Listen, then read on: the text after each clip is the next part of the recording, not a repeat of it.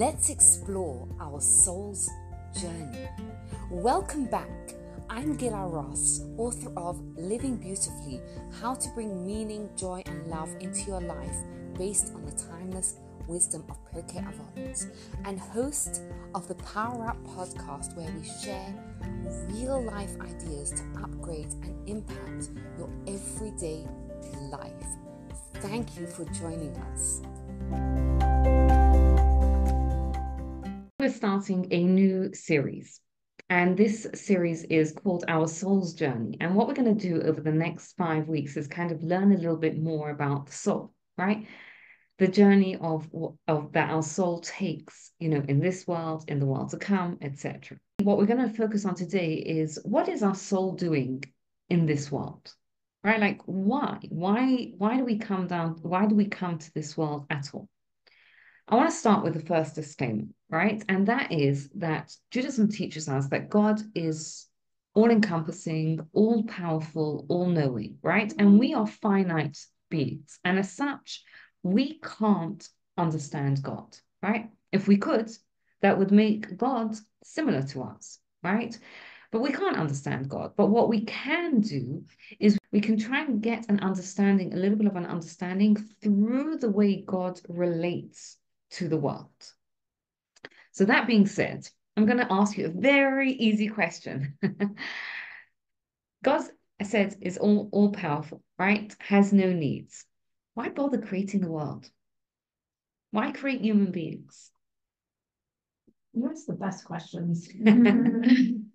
and the answer. I think he created it for for mankind to give man opportunities to come close to God and to bring God into this world by Okay. doing, by doing it, says, being playing and emulating God.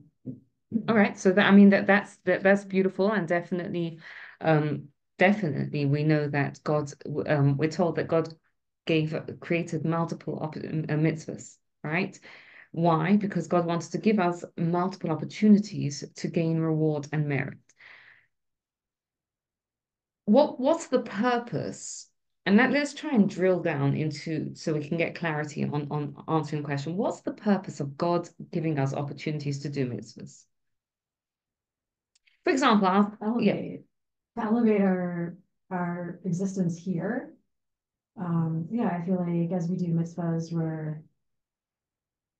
Yeah, the word elevate just keeps coming. to elevate our our um to elevate our existence here, right? And what's the purpose of elevating our existence here? To Emulate them. And what's the purpose of that? I'm going to keep asking He it until we get to we get to an answer. Want, God wants a relationship with us, so each time we do a mitzvah and each time we elevate ourselves, we're getting closer to him, so we're having a relationship. And But that in- insinuates that God has needs. Mean, God needs or wants a relationship with us, is it, is, would it be lacking definitely- without that? So what, wants, I think, isn't an, an unreasonable thing to think that God has. God clearly has wants, like, or desires for what he would like of humanity, or else he wouldn't have given us the Torah. Like, this is, the Torah is basically like, here's a list of the desires I have for you in order for you to become the best creation that you can be. Here you go. Like, that definitely exists, but needs is where it's like, yeah, I mean, I I think I think what you're saying is is is first I'm glad you asked that question because it saved me asking it. But um um and you're right, right? And when when I keep asking why is because I want to drill down to so we can get at real clarity on what it is. And we actually there actually is an answer on this. There's a book called Derech Hashem, which mm-hmm. literally means the way of God, and it tells us the answer of it. But what Jessica, what you said is is correct, right? Hashem, it- it- for example, it says Ratzah Kodesh Baruch Hu says Yisrael, right? Hashem desired mm-hmm. to give merit to the Jewish people, right? Therefore, he gave us many mitzvahs, right? So we do the Torah does talk about God's desire, right? I think the question though that you're you're hinting at or you're getting at is that there has to be let, let us bring it back to me, right? I want a relationship with people, right? For example, let, let's just choose um um I want a relationship with my child, right? Now there can be different reasons why a, a parent wants a relationship with a child or why you want a relationship with a with a friend, right? It could be you want a relation as human beings, usually there's something that we get out of it, right? And I think that's the point where we need to kind of understand is that why does God want a relationship with, uh, with us? Because if God has no needs, it then God's not lonely. He's not, he doesn't need that relationship from us. And we as human beings, when we crave relationships with other people, we do have needs, right? We do need relationships with other people. God doesn't have that need. So why should God want a relationship with us? Why does God want us to do mitzvahs? Like if you think about it, right? God gives God created the world and he gave us mitzvahs, right? So let's just say, for example, God created the world where some people are rich, some people are poor. And then he gave us the mitzvah to give charity. Wouldn't it be much more effective if mm. scrap that mitzvah and God just create everyone with enough money, whatever, enough means to get everything they wanted? Wouldn't that be more effective? Why? Because it takes away the motivation to to be kind or to give tzedakah. It, it takes away the growth for a person. Ah, so there's something, what you're saying is there's something in it.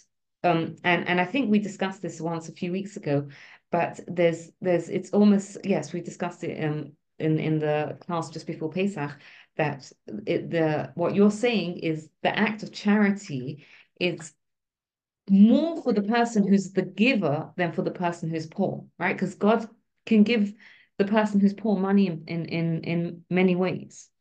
But the person who's rich can only develop that kindness and that giving through the act of charity or through the act of giving, right? So there's something in it for us.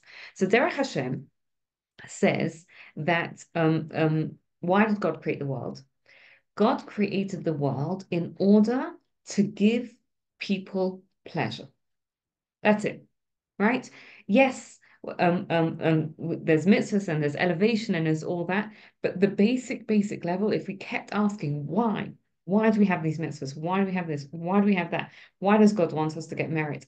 Why? It's because God wants to give us pleasure. And God created the world in order to give us pleasure, but not just any pleasure, but the ultimate pleasure. Now, what is the ultimate pleasure? Supposedly to be close to God. They say the ultimate pleasure is when you are truly connected with God. Okay, so so um, we're going to go um, um, through it in, in, in, in a couple of different ways. And what you're saying is that there's different levels of pleasure, right? We enjoy a good meal. Yeah. Food is pleasurable. Mhm. Of course, right? Food, drink, right? Physical pleasures. The world is filled with them, right? Is there anything that we would give up physical pleasures for? Yeah. For example, um. Just like we're talking about tzedakah and, and giving, so we may give up something physical for ourselves in order to help with our family or. Yeah, um, and, and I'll give you, I'll give you, I'll give you a few examples, right? You're about to sit down to a hot, delicious cup of coffee, right? I enjoy my coffee, Yeah. right? And the phone rings. A lot of us may answer the phone if it's a friend and speak to them, even at the expense of getting uh, of the coffee going cold, Yeah. right? Um, um, you know, we do that. Why? Because love relationship is a higher level of pre- of of pleasure than the food, right? Now, what's important to understand is that we often confuse pleasure with comfort, right? Yeah. Um, I think of this in my own life, right? So I'm a mom, right? Um, and hot cup of coffee. It's been a while since I've drank I drank a, a hot cup of coffee. I remember like after I had my first baby, I actually like learned to stop drinking coffee hot. Right? Why? Because I'll sit down to have a coffee or I'll mm-hmm. sit down to have a thing and someone will say, Can I have a drink? Can I have that? Can I have that? Now, in the moment when I'm being interrupted, I may not feel the pleasure. Right. And I may even feel like, oh, I don't want to do this. Mm-hmm. Because we pleasure is not always what we feel in the moment, right? That's comfort, right? You sit down with a delicious bar of chocolate, a hot cup of coffee. That's basic level of pleasure, and that's also comfort, right? but there are other things that give us pleasure that are higher level, right? And we give we give up for them, right? We give up for it. Or the you know love, for example, we give up um, um, um, base lower levels of pleasure for love, right? Or relationships. You're going out with a good friend, and she's like, "Oh, I really, really, really want to go to this place," and you're like, "Oh, I would have loved to have gone to the other place." A lot of times, you'll say, "Fine, I'll go," because it's more important for me to be in this relationship uh, with you than it is for me to have that. That's a higher level of pleasure, even if I don't necessarily feel it in the moment, right? Now, there are things that we would even give up that relationship for. What happens if you have a relationship with, with someone and the two of you have vastly, vastly different life values, right? Mm. Let's just say you have, um, I'll, I'll use, I'll use um, um, current example, right? You have a friend, good friends, and all of a sudden you discover that they are vi violently pro-Palestinian to the point of being anti-Semitic right? And they won't keep quiet about it. Mhm. Is that going to affect your relationship a little bit? Yeah. it is, right? Perhaps you can come to a place where the two of you agree not to talk about it, which, by the way, you're also affecting the relationship because then neither of you can show up as your authentic selves, right? In a lot of situations, that relationship is just going to die, right? Even in families, right? We see this. People become religious and the families, you know, can't handle it right? Um, um right so and and we do give up relationships for a cause right? For a higher thing. And and not just sometimes it's not just relationships but you'll give up time in a relationship for a higher cause right? You know you'll someone a friend says let's just hang out and there's an opportunity to do good and you might say look i can't i, I, I need to go and and and you know collect money for charity or whatever it is right we give because that's a higher level of pleasure, right? Being involved in a cause is a higher level of pleasure, which, by the way, is this is not the topic of tonight's conversation, but it's just why why these causes are so popular, right? Pro-Palestinian causes. Why are they so popular? Because it feeds that pleasure drive, right? People love to feel like they are part of a, of a higher cause the challenge that we have is is to make sure our pleasure comes from the correct source because every mm. every level every pleasure every level of pleasure we can get from the right source and we can get from the wrong source right? Yeah. we can get pleasure from food and and and and drink and things in healthy ways and we can get them in unhealthy ways. Relationships as well. We can get the pleasure in healthy ways and in unhealthy ways. Causes as well. We can get the pleasure in healthy ways and in unhealthy ways there is a higher level of pleasure than than um, causes as well, right? Imagine if I were to tell you in my office, um, which is next door, I think it's next door, right? Um, God's there. And you can go and have a half hour audience with him. It's going to cost you a lot of money, but you could do that. With who? God. Oh. You can ask all your questions, get everything answered. That's a pretty high level. It is. I mean, it might be intimidating. Um, and it's it's an incredible level, right?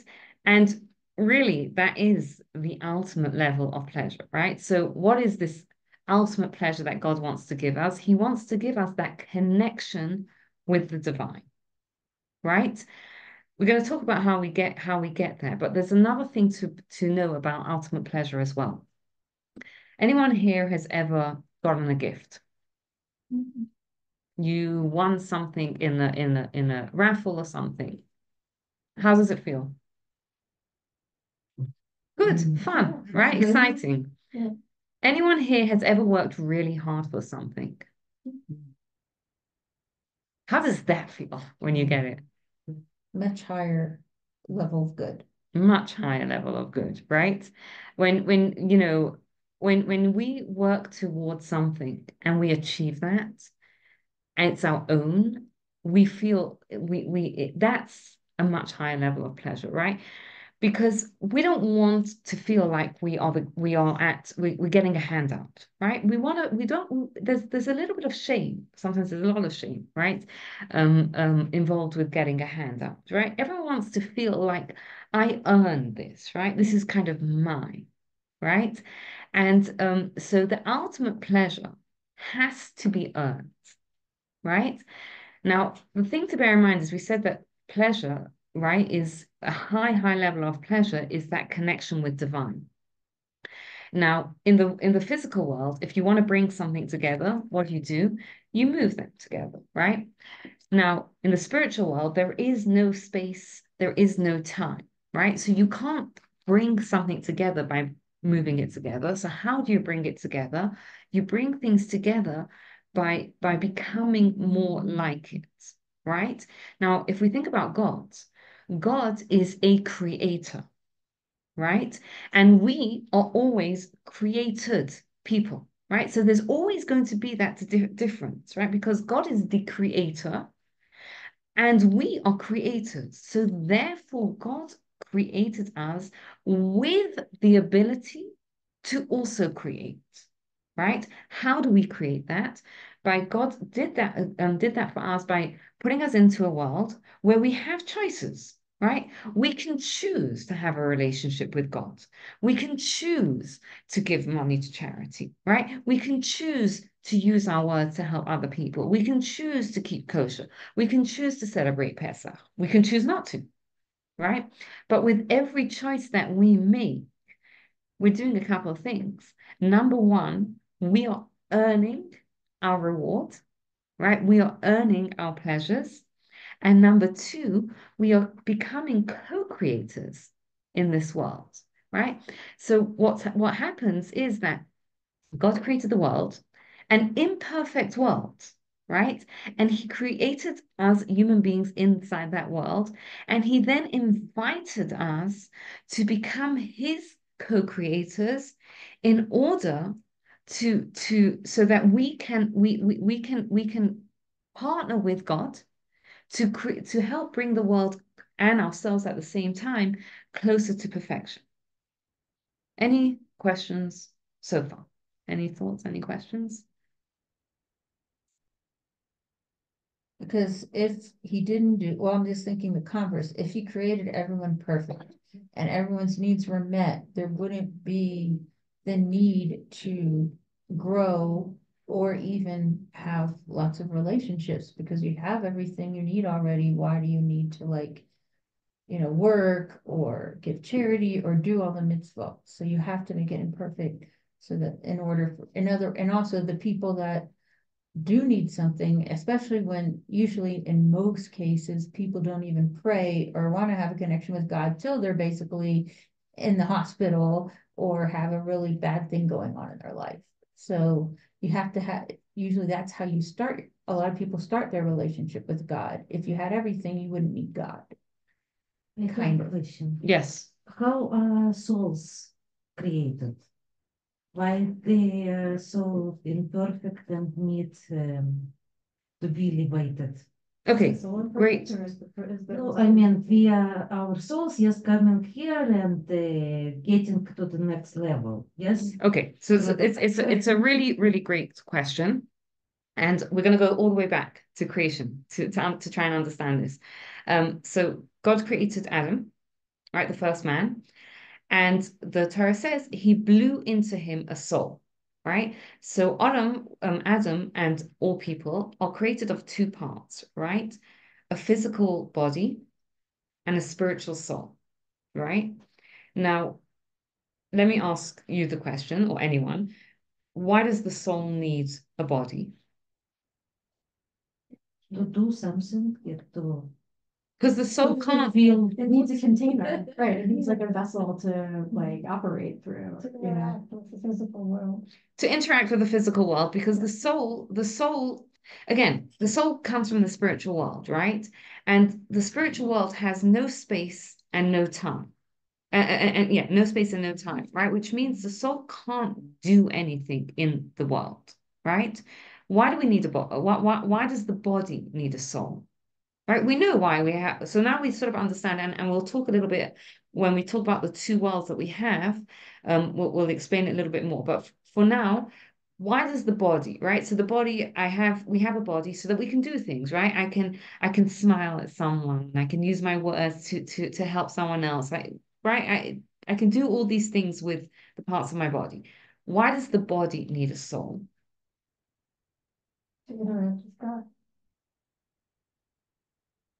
But I can pray with my mouth.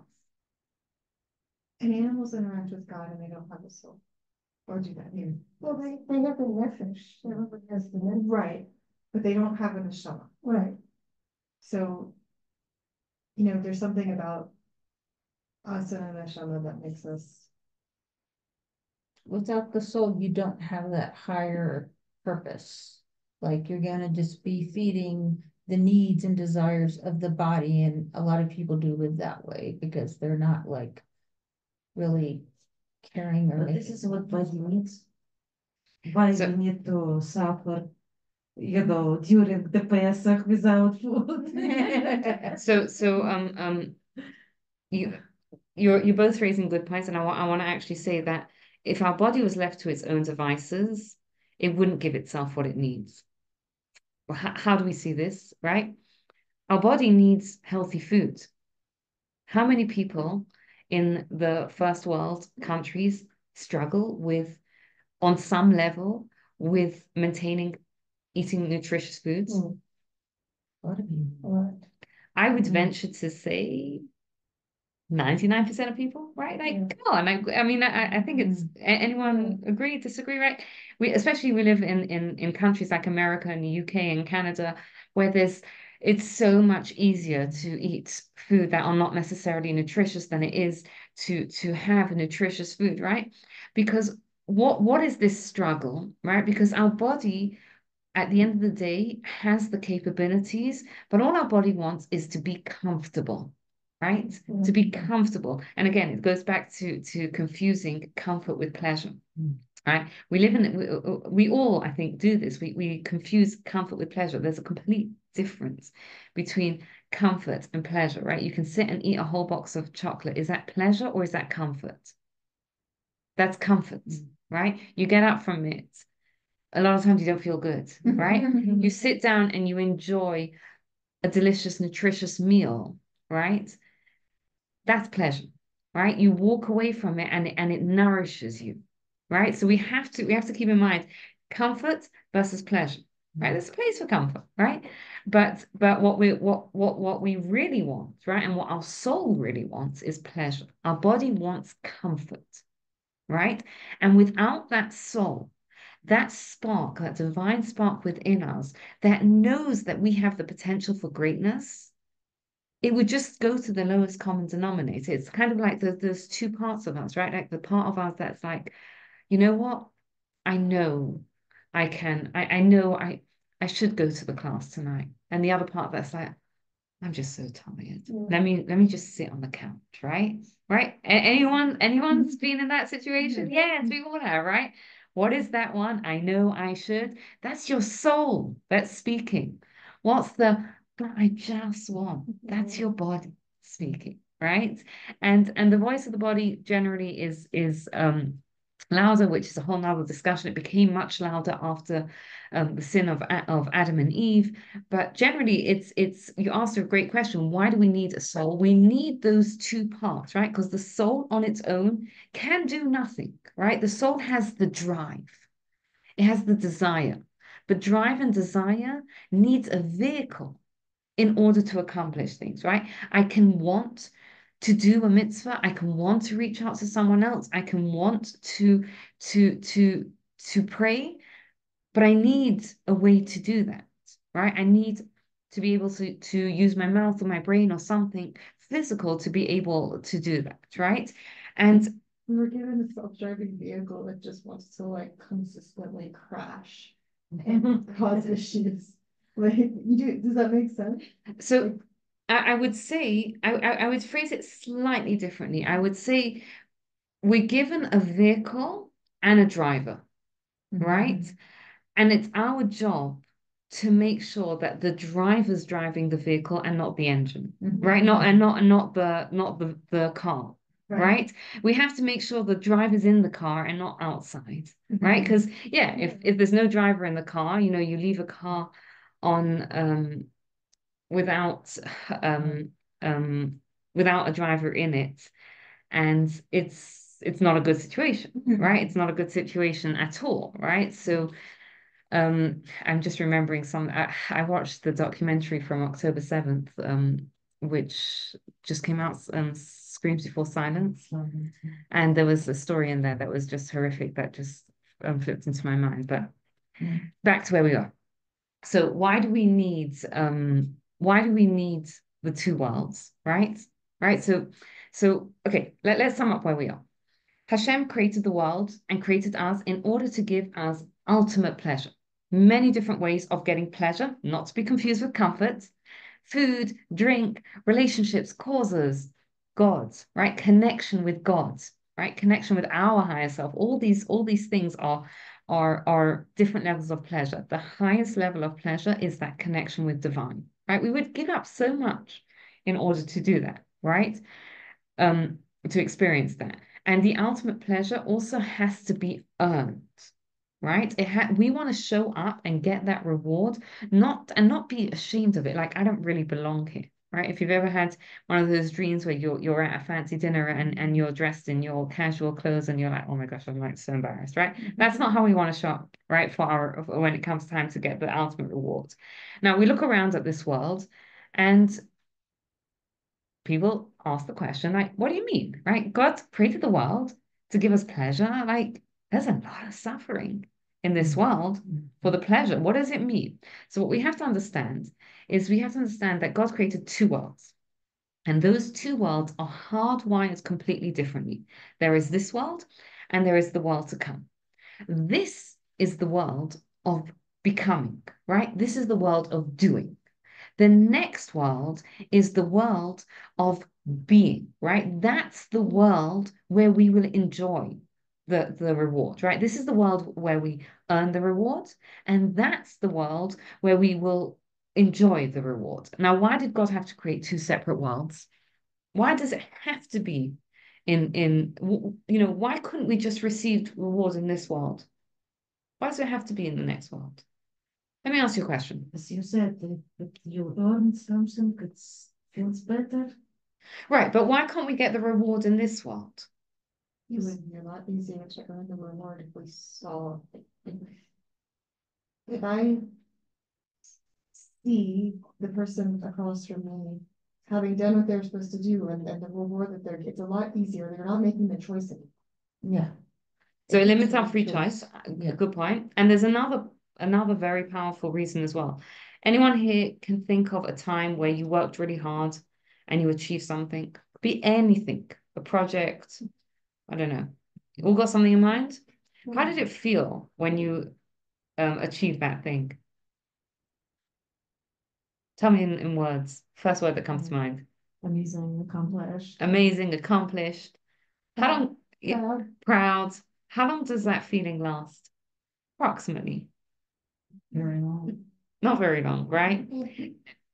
I don't know what it is. I guess it depends on what the project is. Like maybe a few days, maybe a few hours, maybe a couple of weeks. It depends what it is, right? Um, um, you know, like even like I think about writing my book and publishing it, and it comes out and it's like great, and like within a few weeks or whatever, it's like okay, what's next, right? Why does it have to be like that? You know, because that feeling of a, a- accomplishment is a tiny taste of what we're going to get in the world to come, right? That feeling of of earning our reward. Why does it have to disappear? What would happen? Because then you go on, you go on to like, okay, what is next? yeah, Exactly. you Got the reward, you'd be like, cool, I'm done. Yeah, so we would achieve one thing in our life, and that's it, Mhm. right? So, so Hashem created, Hashem had to create the world completely differently, hardwired differently. This is the world where we where we achieve, and we're we're wired to want to achieve, right? To want to move on to the next thing. Yes, we have to enjoy that moment of accomplishment, right? Because that's what gives us the motivation and the drive to do the next thing. But the natural feeling is that it will dis dissipate, uh, disappear after a few after after a while, right? Because that drives us on to to the next the next world, right? So so um there's two reasons why we have to have um two separate worlds, right? As you said, if we would see God, right? Clearly, if we would see the result of our actions clearly, we wouldn't have free will, right? It's not even that our free will would be limited, like we wouldn't have free will, especially when you study like the immense reward that we get for for the mitzvahs, right? For doing good things, right? If we would see that, we would never we it wouldn't we wouldn't have free will. And the second one is that because because if we if we had that reward right there, we would not have the drive to do the next thing and the next thing and the next thing. Um, any questions? Any any questions? Okay, so we asked. Uh, we're talking about like the two worlds, right? The body, the soul, the two worlds, and um, Pirkei Avot, I, I believe, says that it, it says actually i'm not sure if it's from Pirkei or from somewhere else but um, it talks about it talks about the two worlds and it says that um, um, you can't compare one hour right of of happiness in the world to come to all the happiness in this world right? It what, what is what what does it mean? It means that Rav Dessler actually explains what it means. He says if you take your happiest moment in your life, right? And then add on to that all your happy moments in your life, and then condense it into one moment. Now take all the happy moments from everyone in this room, right? From their life and condense it into one happy moment. We're not done yet. Take all the happy moments from all the people in Denver, condense it into one happy moment. It's a pretty happy moment, right? Take all the happy moments from all the people in America, condense it into one moment, right? Take all the happy moments from all the people in the world, condense into one happy moment. Now take all the happy moments throughout history and condense it into one moment. That doesn't compare to the joy and pleasure a person will get in the world to come, right? So, so to understand why God created us and why God put us into this world, right? When we live in a world where we don't see that, but this is the truth of it, right? That if we would understand the pleasure and that that we get through doing the mitzvahs, right? We in this world we see just a tiny, tiny um, um taste of it, right? In the next world is where a person gets to experience that. So let me ask you a question: Which world is better, this world or the world to come? Did the angels say that they're the one just is Okay, this could be wrong. But That's fine. yeah, no, I was trying to remember exactly how it was said, but there's almost like a jealousy between the angels and humans, like. Like the angels are almost jealous of us because we have the opportunity to grow and to build that relationship where they don't. Which would mean that this world is, the- is a better place. Right, because th there is an, another statement in the Talmud which says you can't compare one hour in this world to the entire world to come. Why? Because in the this world, the potential that we have is so great. And in the world to come, where we are just soul, right? We don't have that free will. Mm. We can't do anything. We can't accomplish anything. There's an incredible story that's told um, from the Vilna Gaon.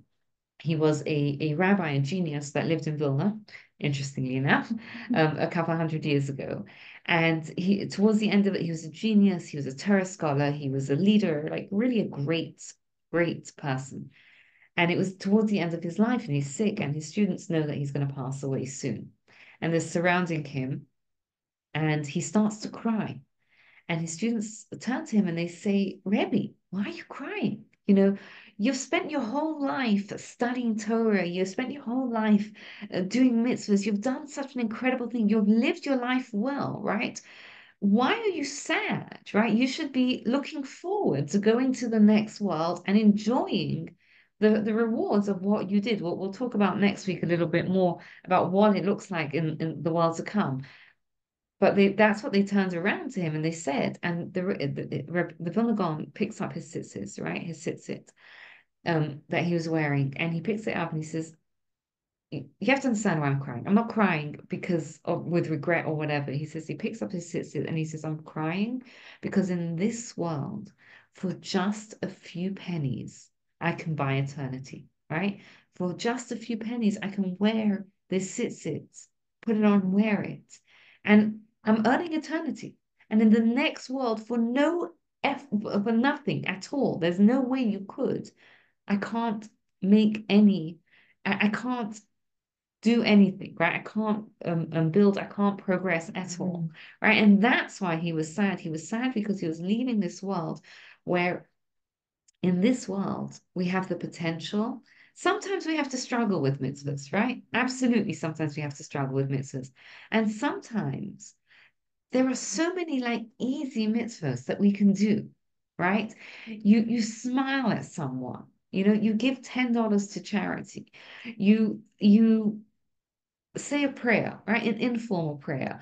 You're uh, about to drink a cup and you make a blessing, right? Even if you say it in English, right? You don't know the Hebrew, you say in English. Like there are so many simple ways that we can change ourselves, right? We can earn that reward. We can partner with God to bringing the the world and ourselves closer to perfection. So the answer to the question, which world is greater, this world or the world to come?